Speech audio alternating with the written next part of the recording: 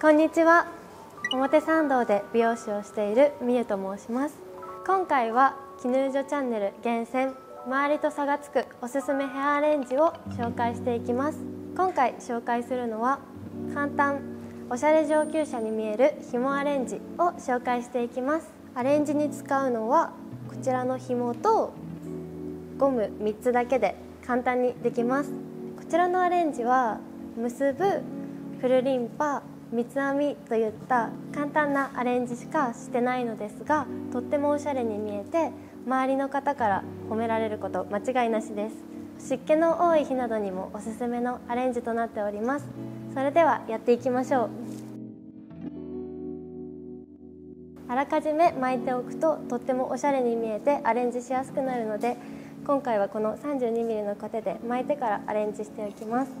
際に巻く時は上の甲からしっかりとカールをつけてあげると引き出した時により可愛く見えるのでおすすめです。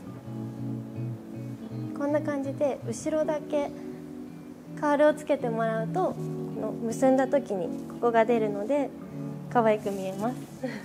じゃあ実際に結んでいきます。まず黒目の上あたりから後頭部の一番出っ張っているところまで分け取って一つに結んでいきます。結び終わったら結び目を少し下に下げてもらいます。その後耳後ろから結び目に向かってもう一度結びます。結べたらこの毛先をここに入れてくるりんぱしていきます。でギュッと結んで結び目を押さえながらしっかり引き出していきます。この時に細い束で引き出していくのがポイントです。で最初に結んだところも引き出していきます。最後に下に少し毛が残るのでこちらを横に持ってきてで三つ編みをしていきます。こちらをも細い束で引き出していきます。引き出せたらこちら結び目のところにぐるっと一周巻きつけてこの結び目の下でゴムでもう一度結びます。こうすることでゴムが見えなくなります。今回の主役である紐を使っていきます。下から通してだいたい半分の位置で一度縛ります。こちらをぐるぐるっと巻きつけていきます。この時に交差しながら巻きつけていくと可愛くなります。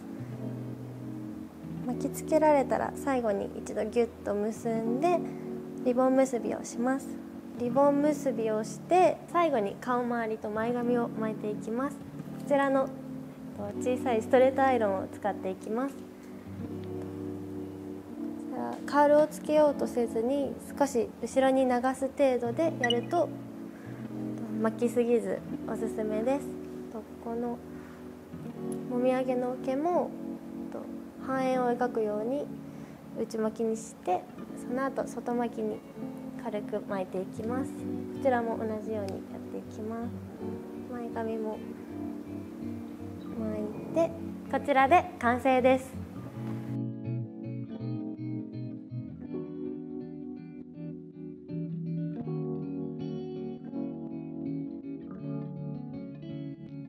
ということでいかがだったでしょうか？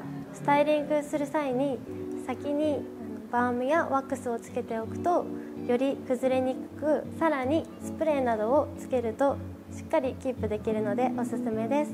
ということで今回は美容師みゆが解説させていただきました。こちらに私のインスタアカウントが出ているのでフォローしていただけると嬉しいです。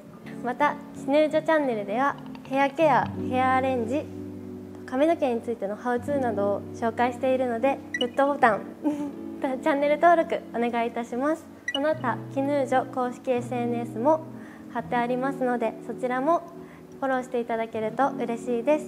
それでは次回の動画もお楽しみに。バイバーイ。